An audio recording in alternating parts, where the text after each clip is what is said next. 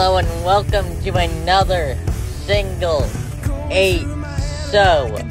Your name is My name is Michael Davis. Your name is. Rick Kane, and your name is. Hunter Mill, So. Today on the Single H Show, I thought it would be good to talk through who our advocates are. And I actually had a reason that I wanted to have this conversation. This past Tuesday night, I made my first appearance at a new school board gathering. And I went out to speak for our LGBTQ and transgendered siblings uh, at the meeting in Temecula, California. There's many places that have been on the the spotlight of um, conservative um, uh, backlash uh, in school systems, and Temecula is one of those places. Uh, so very recently, I started attending uh, the Temecula School Board to advocate a little bit more for LGBTQIA plus uh, siblings. And I, although I do not live there, I am a part of the work community there. I have a very strong presence uh, within the community of Temecula, which still gives me a voice at these gatherings. So I, as I have been doing this, I found it, I thought it would be very interesting to hear from you as a high school student, from Rick Kane as a college student, and from me as an adult about different programs or generalize if you don't feel comfortable saying the program's name. What are the programs that advocate for you? The, does that kind of make sense to you both? Yeah. As this is the Single H show, why don't you share the first one? What is a program that advocates for you as a high school student? We really only have one at my school, and that's the one that I have that I am the VP with. P, VP of the Gender and Sexuality Alliance. The GSA, the Gender and Sexuality Alliance. That is what it's called at Single H's school and other schools. It is the Gay Straight Alliance. Yeah. I like gender and sexuality better. It differentiates identity and sexuality, Yeah. which it really needs to be. I've found in a lot of the arguments that individuals do that are on an anti uh, stance, they try to group together gender and sexuality and really distort what some friends' journeys are. So, th- th- talk a little bit about the Gender and Sexuality Alliance at your school, Mr. Vice President. we are really like kind of the people are willing to step up and advocate because of I think it's also uh, being like the still like the newest school in the district despite being a good decade. That school is only 10 years old. It's only Yeah. 10 years old. It doesn't really have, yet we have a strong adult group that goes, but we still only kind of have us at our school to, to do anything. And it's still like, it's still young, it will grow over time, but we are kind of currently we are those who are outly supportive are who we have. Yeah.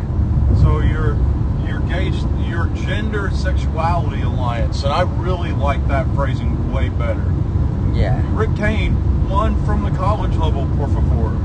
Um, there's, I don't know, like, there's resource centers, like, all kind of in, they're all kind of grouped in the same area. Like, there's a transfer student one, there is a person, like, POC one, and there is an One that does a lot of, like, events and stuff so that LGBT people can meet and find each other, and it, they have, like, um, they they have access to different things. Like they have pamphlets and stuff. They can point you in the right direction if you need something. They have like equipment and stuff like that available to help people feel safe and comfortable.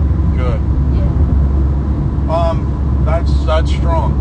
And, Like, and there's so no- it's different resource centers, though. It's not all LGBTQ, but like whatever need that you have, Yeah. you can There's a research center for that. That's that's pretty awesome. That's very cool. Um, and I'm glad that they have different groups too. So they have little mixers. They have bowling night and dances and stuff. Yeah. Game, gaming, Gaming. gaming nights. Yeah. Very cool. Very cool. So I'm gonna I'm gonna start very vague, but not too vague. Mine as an adult is random people that are willing to just speak out, and and in some ways, I I group myself into this group. I as far as as Temecula goes, I am a, a, a city member, a civic member, but I am also just a random person willing to speak out. And if anybody has a passion, you can find out when your city hall meetings are, you can find out when your school board meetings are, and you can go. And as long as you have some connection to the community, you have a voice in these meetings. And you can go in and be a voice. Make sure that you're watching YouTube. Go to the these meetings websites for their minutes of their pre- previous meetings, and you can learn a lot about what the situations are. All right, single H, you got another one. It's Do you have another uh, the uh, Afro uh, ally group that helps you? look for them out again. Trans Family Support Services. Yes. They are everywhere throughout the country. If you need help, go to them. They are more than willing to do it. Please do it. Please. Trans Family uh, Support Services helped our entire family. Uh, when Single H came out, you guys that have been on this journey with us, uh, we turned to them for guidance and and conversation. We turned to them for guidance and care for Single H. There was a lot that we uh, through them that helped us take care of Single H, even to the point of uh, the path to go for uh, his transitioning journey, the path to go for name change. Uh, Trans Family Services is amazing, and they're in multiple areas. Yeah. Multiple areas. Uh, Rick Kane, give give me another. Um, Any- I don't really know. Okay, that's fair. Uh, Because it, it's hard to find these things. Yeah. It, it really is, and you you hit the biggest one for you. Um, there are different clubs and things that exist on campuses, and even though they might not say uh, uh, LGBTQIA plus affirming, you know because of their topics that they are LGBTQIA plus affirming. So uh, any group that you can find anything from uh, game night to maybe even a Rocky Horror uh, Shadowcast Club, Yeah. uh, there, there, you can find it from its topic and kind of differentiate if they are going to be supportive or not. You that you probably would not go to the Young Republicans Club No. to and find an affirming group. But I'm sure that there's social justice clubs. I'm sure that there is uh, uh, uh, Democrats for Liberty or something. Is there stuff like that? Uh, kinda, yeah. Yeah. Not like a club that meets all the time, but like during like club rush at the beginning of the year, there's like a bunch of like places that have tables out that you can do that. Kind of dis- differentiate from their theme if they'll be supportive or not. Yeah. Yeah. So mine, mine, I am going to talk about uh, resource centers as well, but there are adult resource centers, there's community resource centers. The, the town that we live in, and I've talked about this group, is a North County LGBTQIA plus resource center. There is a resource center uh, where that I serve in the community that I am, am working and advocating in. And all of these resource centers are kind of popping around and they're open spots of safety. Sometimes their presence isn't always safe for them, but they try to present a safe environment for anyone that comes through their doors. So I would, as Rick Kane said, but more for cities and and, and towns, any um, resource center, LGBTQIA plus resource center is a, a great avenue of finding allies and support.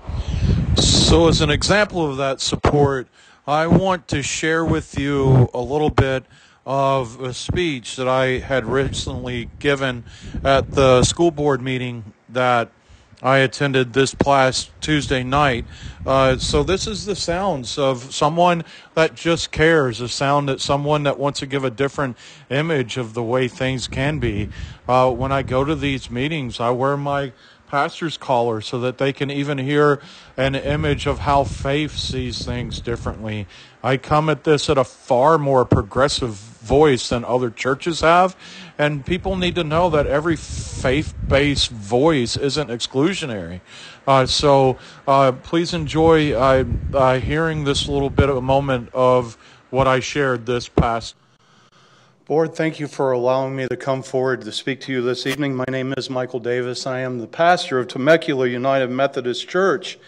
This evening, I would like to share with you my concern about the reach of bullying behavior in our schools and the emotional trauma that comes to our children who face it daily. I would like to also express my concern about how that reach has visibly affected this setting our main focus should be to coordinate a structure that truly prioritizes the best interest of our children, free from personalized agendas. The only way to care for all the children in our schools is to support safe spaces where they can have conversations that they need. In many cases, these safe spaces are not found in their homes. Displacement and physical harm can result when deeply personal information is stolen from one individual and shared in places where they wish it to remain private. We have mandated reporting laws in place for the true safety of our kids. A person's gender, gender expression is not a life threatening concern. Requesting a name, a special name, is not a life threatening concern. However, sharing information inappropriately or stealing a person's voice to expose their personal journey can have serious consequences. Thank you for allowing me to share with you. So, those were some of the voices, my voice, of the dear friends who are trying to go out and care and advocate and we kind of encourage you to advocate as well. Uh, we want to make sure that everyone is registered to vote. One of the best ways to advocate is to make sure that you can go where you can make the most distant difference.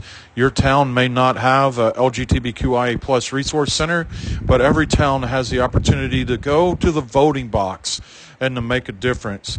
Uh, so we want to make sure that you know that if you turn 18 before November the 5th, you have the opportunity right now to go and register and vote. You have the opportunity to use your voice and to make a difference in this coming election. This year, probably more so than any other year, as we deal with worries and concerns that are connected from everything to Project 2025 to local races that put people in charge of our school boards and city councils that can make it so much harder for our LGBTQIA plus siblings to live comfortably. We need to go out and have our voices heard in the voting boxes this year. So please remember that if you turn 18 years old before November the 5th, you have the opportunity to have your voice heard. So please become one of the advocates in the voting box. Make your voice heard by clicking the boxes and voting for the individuals that have affirming agendas. And as we deal with the fears from everything from Project 2025 to the limitations of uh, um, of reproductive rights to gender affirming care, we need all of our voices to be heard. So please vote. Please make sure you're registered and please go be active and present. Thank you for listening to us this week. For Rick Kane, for Hunter Mills, my name is Michael Davis. This was the Single H Show. Everybody have a great week.